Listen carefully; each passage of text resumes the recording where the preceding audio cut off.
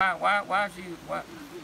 Hey, youngins, let me tell you, when the Lord, when the Lord's dealing with you, you need to act on it, and I believe that's what this brother right here has done. Why? Because he had a desire to be baptized, and there's nothing wrong with that.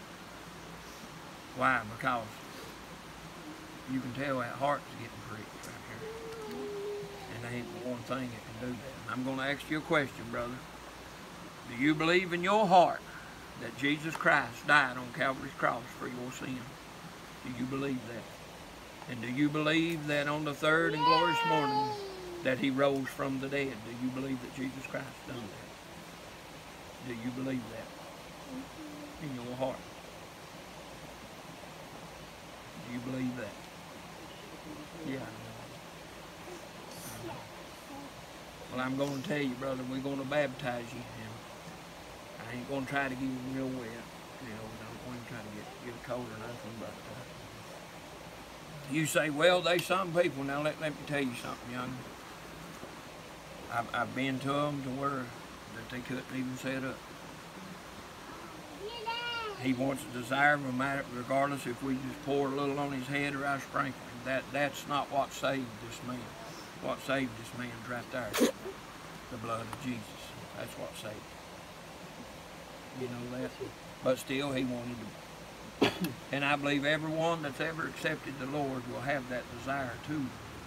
Whether, whether ever how it be, I've seen them where they be so sick, but they, they know they accept Jesus and wetted a towel and lay on it, you know, because that, that's all. And but I tell you, I, I'm glad and I thank the Lord that you called me. I'm glad I could be a part of this.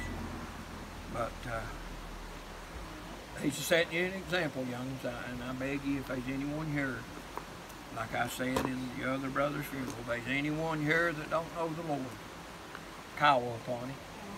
Get saved before time runs out. You know, we got no promise of tomorrow, and, and, and the Lord could step out at any moment right now. We, we don't know when, but He's a coming, amen. He's a coming. So what we're going to do, I'm gonna I'm going to pour a little water over your head. It doesn't matter if this if this gets wet, it won't hurt nothing. You got a towel for it, okay? All right.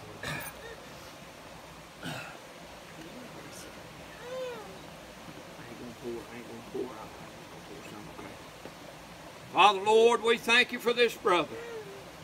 Father God, we thank you most of all, Lord, that God, he, he wants to go to the water, Father Lord, and I believe in our hearts, God, that he knows you, Father, that you are his Savior.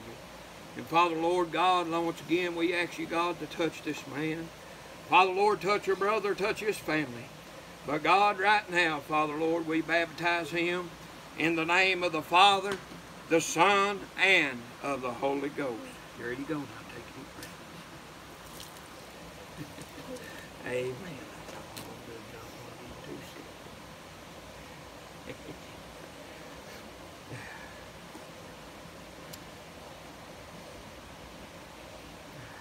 You say, preacher, I've never seen nothing like this done before. Before,